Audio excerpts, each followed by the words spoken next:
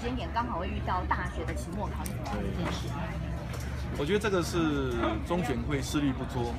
或者是国民党故技重施，不得而知啦啊。但是选在一月十六号啊，确实是不恰当，因为二零一二年的总统大选投票日就是跟啊大学的期末考混在一起，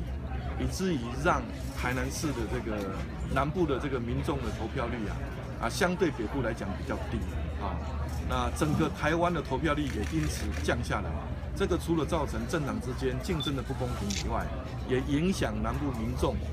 投票的权益，所以我们非常希望哈中选会能够从善如流，延后一周啊，我想应该会比较恰当。